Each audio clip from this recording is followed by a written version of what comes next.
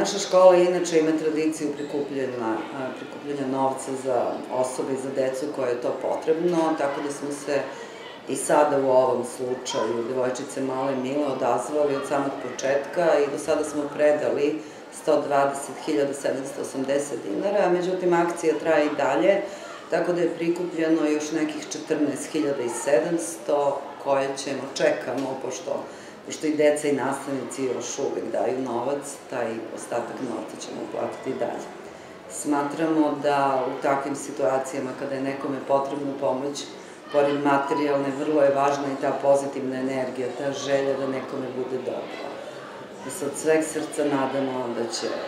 kompletno ova akcija na nivou grada i dobra volja svih ljudi pomoći našoj Mili da,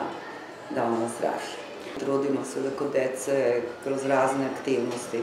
koje imamo i na nivou škole, imamo tri humanitarne tradicionalne aktivnosti koje radimo i ovako šire u društvenoj zajednici razvijamo kod njih taj osjećaj pomoći drugima i dobroti, jer zapravo samo kroz davanje drugima mi dobijamo.